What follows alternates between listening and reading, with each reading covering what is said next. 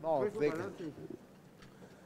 Bueno, e- el balance es positivo, pero obviamente quedan pendientes, quedan leyes importantes.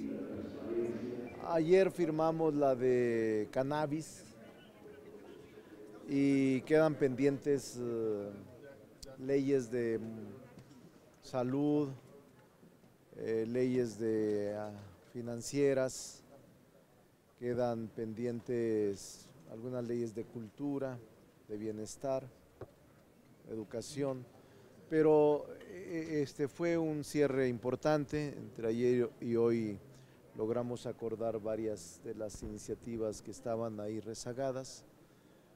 Para mí fue un buen ejercicio, una buena jornada y hoy instalamos la permanente en unas horas más. Eh, entonces, eh, creo que el Senado de la República cumplió, cumplió con creces y nos preparamos en enero para una agenda legislativa que en febrero la desahogaremos. Eh, cumplió en términos generales con toda la agenda que nos propusimos en un principio. Entonces fue un buen momento, un buen ejercicio y vamos a estar pendientes para lo que pase en la permanente, eh, con temas de comparecencias, eh, la directora de CONACIT, probablemente el fiscal eh, y otros funcionarios, el de Migración, Instituto Nacional de Migración, son tres funcionarios que en la permanente los vamos a convocar en los próximos días. ¿Ya hay Entonces? Sí, nosotros estamos de acuerdo. La mayoría facilitará las cosas y actuaremos como interlocutores de buena fe para que haya esta posibilidad de comparecer y buscar soluciones a los problemas planteados. Senador, respecto a este... encontronazo sirvió incluso casi casi como un, como un aplausómetro para usted. ¿Cómo, cómo ve esto? Este, Ya lo, ya lo, ya lo cantó. son amigos, son amigos. Este, no, Se ve que tiene el respaldo de su bancada, ¿no? Por lo menos. Sí, sí, sí. La bancada se porta muy bien y todos los grupos parlamentarios se portan bien. O sea, yo trato también de portarme bien, honrar mis acuerdos, mi palabra. Nunca he faltado a ella y quizá por eso saben que soy un hombre de honor. Soy un hombre que nunca incumple lo que ofrece y por esa razón hay un buen ambiente en el Senado hay que seguirlo construyendo, incluso con hasta los más adversos. Yo los respeto. ¿Quién y quién? Usted y Germán. Ah, somos amigos. O sea, lo que pasó hoy es un... minuta. Es así, es normal. Es normal. senador, pero se va a analizar la posibilidad de que el Grupo Plural deje de tener asiento No. en el la Jucopo, en la mesa No, no, no, no, no. No, seguirá igual y si podemos eh, aumentarles más derechos, los aumentaremos. Pero ¿por qué no se les convocó a suscribir el acuerdo de la permanente? Es que es muy sencillo. Usted debe hacer también más... eh, eh, mejor no digo nada porque hasta con broncas voy a hacer. Voy a, no, pero le voy a decir por qué. ¿Por qué no firmó? Es muy sencillo. Nomás que no quiero debatir tan a fondo porque no quiero poner en evidencia a nadie. ¿Por qué no lo firmó? Pues porque no había grupo plural. ¿Por qué no lo firmó? Pues porque él todavía, eh, en el momento en que se suscribió ese acuerdo, no había grupo plural. Pues es obvio, pues a la fecha que haya sido, Claudia, pero si está firmando usted un acuerdo donde van a crear y admiten un grupo plural, como que en ese mismo acuerdo ya firma el representante del acuerdo, pues es hasta naturalísimo. Es decir, no firma el acuerdo porque no había grupo parlamentario plural o no había grupo plural.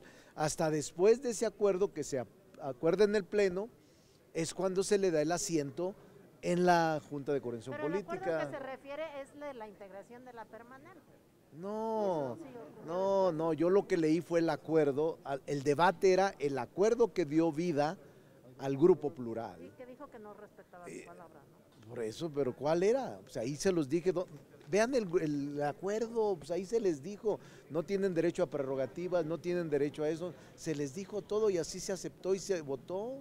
Y eso incluía no derecho a, a la permanente. Ah, eh, no solo, no tendría derecho ni al órgano de mesa directiva ni a la, ni a la Jocopo y yo acepté que fueran con vos.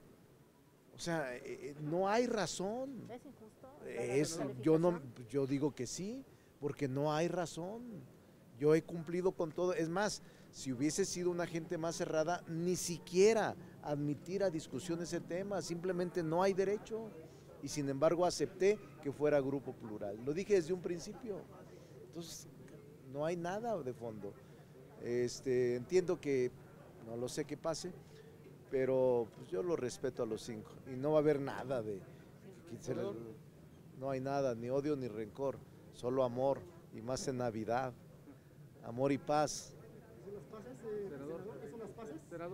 Ya, son amigos míos, los quiero mucho, los quiero mucho y ahora frente al árbol de la armonía y de la austeridad, les voy a dar un abrazo a cada uno de los cinco. Quizás la ¿me serpiente esté generándonos ruido. Carlos Flores de Chiapas, senador, dos preguntas importantes de Chiapas. El tema de los, de los desaparecidos de Panteló, ¿por qué no ha sido atraído con la misma intensidad de, Ayotzi- de los desaparecidos de Ayotzinapa? Y otra cuestión, el tema del accidente de los migrantes, ¿qué, qué causa se les va a dar? Precisamente lo Ah. que se en Chiapa de Corzo, 55, mi- 56 migrantes ya Va, va a haber eh, la comparecencia del Instituto Nacional de Migración y seguramente la Fiscalía General de la República lo atraerá, seguramente en los próximos días porque es un asunto delicado que nos preocupa.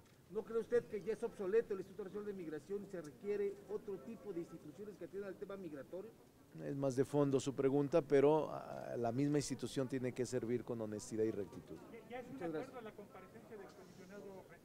No, pero yo estoy de acuerdo, o sea, es decir, en los tres temas estoy de acuerdo y represento, yo creo que en los próximos días, eh, este, ante comisiones o ante el pleno de la permanente, no hay ningún problema. Los tres funcionarios, Instituto Nacional de Migración, eh, Fiscalía y este CONACIT. CONACIT. ¿Tu opinión en relación a la acción de la Corte en torno al decretazo? No, pues, está bien, en torno al decretazo la decisión de la Corte es correcta. En materia de transparencia simplemente dicen que no procede ahí, que tiene que eh, aclararse, transparentarse e informar. Me parece que es correcto. Y lo del INE que los obliga a continuar con la... Ah, el INE pues, incurrirá en responsabilidad si no lleva a cabo la revocación. Yo siempre se los dije, no es un asunto de voluntad, es un asunto constitucional y legal. Si no realizan la revocación de mandato, incurren en responsabilidades. Y ese es el tema de fondo. No, sí tienen dinero, van a sacarlo. Graciela Márquez, ¿cómo se daría en la permanente? No, Graciela Márquez como integrante de la Junta de Gobierno del INEGI, basta con que el presidente la designe como presidenta del INEGI, eso es todo. Es una comunicación. Es, es una comunicación nada más. Ya no pasa por nosotros. Senador, pero ella deja una vacante Ah, eso sí, eso sí, sí tiene que pasar al eso sí. Ejecutivo. ¿Le Eh, han dicho cuándo No, no me han dicho. Es así, tiene Pero razón. tiene que entrar antes del 31 de No necesariamente. No necesariamente. Debería ser antes del 31, fecha en la que concluye el mandato del anterior. Pero la Junta de Gobierno puede operar porque tiene mayoría. O sea, no tiene problemas de quórum legal. Pero espero que me la manden rápido para procesarla. Una nueva integrante que ahí sí le corresponde al Senado este, su ratificación o a la permanente. Germán, Germán se equivoca en sus pronósticos sobre la presidencia. No, no, no. Germán es buen amigo. Que Dios lo ayude. Es buen amigo. Gracias, gracias. Es, es el debate, es el debate, es el calor del debate, nada más, eso es todo. Oiga, pues feliz Navidad y feliz Año Nuevo. Oiga, ¿eh? feliz Navidad a todos. Ya se iba a dar un clip. Una quiero expresarles a todos los medios de comunicación una feliz Navidad y un año nuevo y los felicito porque la fuente es muy profesional. Quiero que destaquen muy bien lo de el grito. Está contento con el grito. Siempre, siempre estoy contento. No, pero el grito es un apapacho, ¿no? No, no, estoy bien, estoy tranquilo. Este, el grito es el grito. ¿No hay, no hay riesgo de que la autonomía del INEGI con una incondicional pueda perder si que se oficialicen los otros datos? No, no hay riesgo, va a mantener su autonomía. Pero vamos a tener otros datos oficiales. No, no, no, no, va a ser objetiva, veraz y muy profesional. Oye, su cartita sí sigue firme, ¿no? Mi carta sigue siendo firme, ya la puse arriba del árbol de Quetzalcoatl. Está en la cima.